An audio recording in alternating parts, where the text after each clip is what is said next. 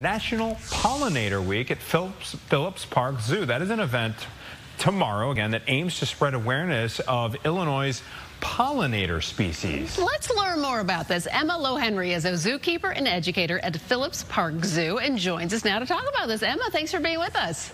Hi, thanks for having me on. Okay, so I have a kid who's very frightened of bees. um, of course, we love butterflies, but tell us about pollinators and why we should love them.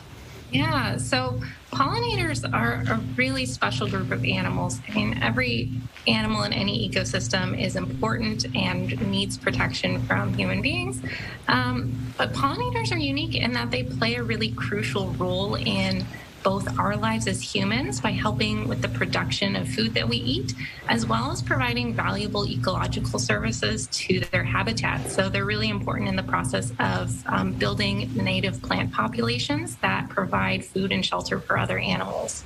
Really uh, really important role uh, and that's an understatement. Um, sally mentioned bees. What are the most common pollinator species in illinois? We pretty much talking about bees here emma um, so there are a lot of uh, native bees in Illinois that are pollinators, but there's also uh, butterflies, moths, hummingbirds, um, even some less conventional pollinators that we don't think about quite as much, like longhorn beetles or um, syrphid flies. So there's a really broad range of species that can play a part in this in this ecological role, and um, they they all need our protection. They're a pretty vulnerable group of animals, and there's a lot that we can do at home to help them.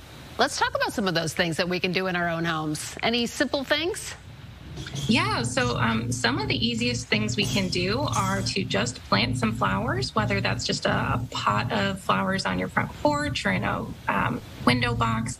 If you have a garden in your backyard, um, staying clear of invasive plants and incorporating more native plants in your landscape is a really great thing we can do. Um, for those of us who don't enjoy growing plants, you can also do things like support local organizations that are involved in pollinator conservation or just try to shop locally when you can. Um, pollinators are very susceptible to climate change, so anything we can do to reduce pollution is really advantageous to these animals. Great message. All right, Emma Lohenry, zookeeper, educator at Phillips Park Zoo, previewing uh, the inaugural Aurora Pollinator Fest, which is happening tomorrow from 1 to 6 at the zoo. Emma, thank you so much for your time. We appreciate it. Thank you. Have a great day. Too. You as well.